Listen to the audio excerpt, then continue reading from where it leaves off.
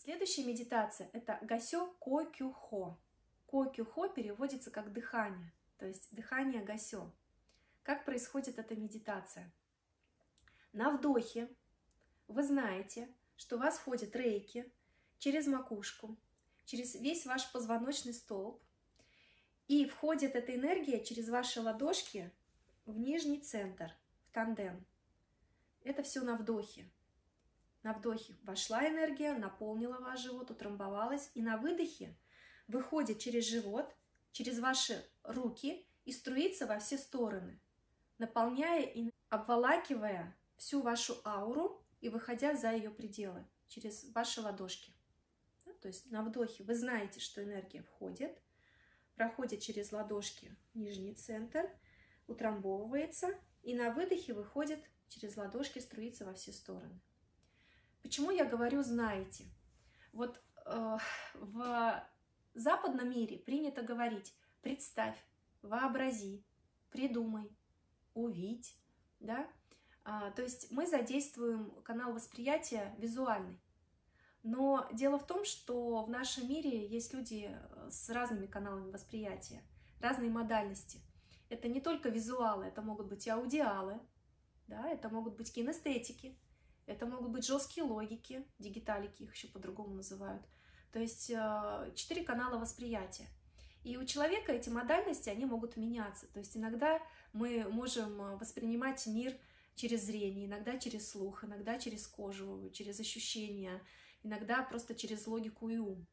И вот когда японцы говорят слово «знай», здесь включается намерение. То есть когда мы знаем, что энергия входит, через это знание тот канал восприятия, который у нас наиболее сейчас активный, он нам начинает выдавать информацию. Мы можем увидеть этот цвет, мы можем услышать этот цвет.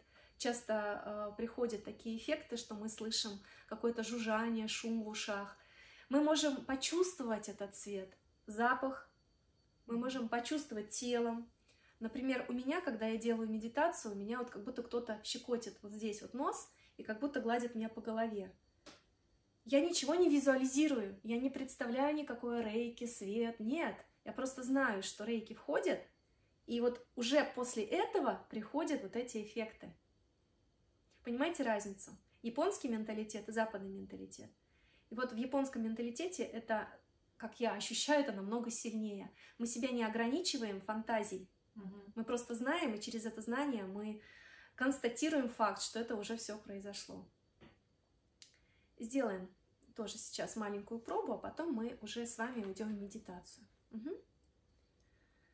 То есть на вдохе вы знаете, что рейки входят через макушку, через ваш позвоночник, через ваши ладошки в танден, накапливается, утрамбовывается там, и на выдохе через танден поднимается вверх и через ладошки, через руки струится во все стороны. Это выдох. И каждый в своем ритме продолжает дышать.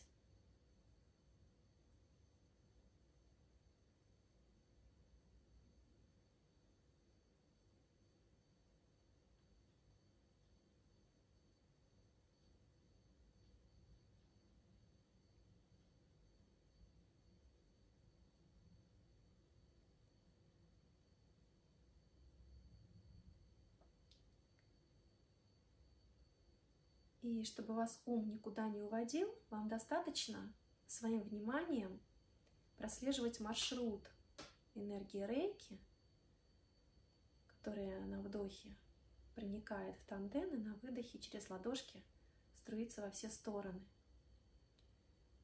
Старайтесь максимально заинтересоваться этим процессом. Когда есть интерес, то ум, он уже становится беззвучным он уже никак не может вмешаться в процесс медитации, когда вы очень увлечены. Поэтому постарайтесь максимально заинтересоваться этим процессом.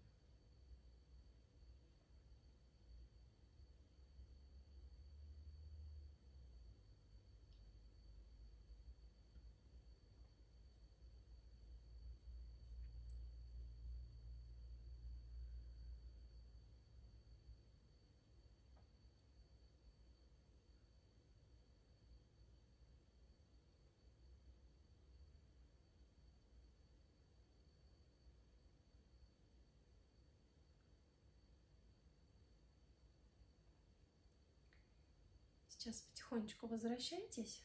Вот мы немножко попозже сделаем вот эти две медитации. Одна медитация будет плавно входить в другую. Сейчас я вам инструкцию рассказала.